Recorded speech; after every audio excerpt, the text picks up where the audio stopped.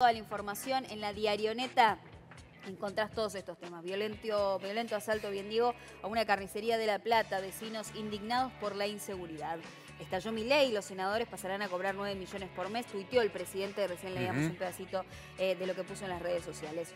Cuatro de cada 10 jóvenes de entre 25 y 35 años viven con sus padres, 2.3 millones de personas que no pueden acceder a una vivienda, crisis económica, tenés un informe en el diario Crónica.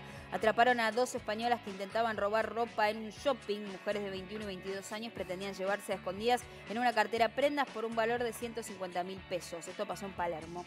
Abrazo de gol. Libertadores, parada difícil del ciclón en Brasil frente a Mineiro y otro título también eh, deportivo.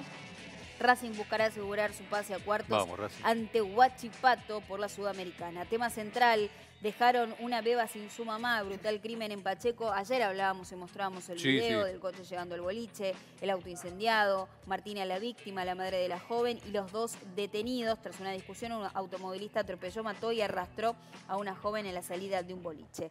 Tenés ahí toda la data, obviamente la cobertura de Crónica TV.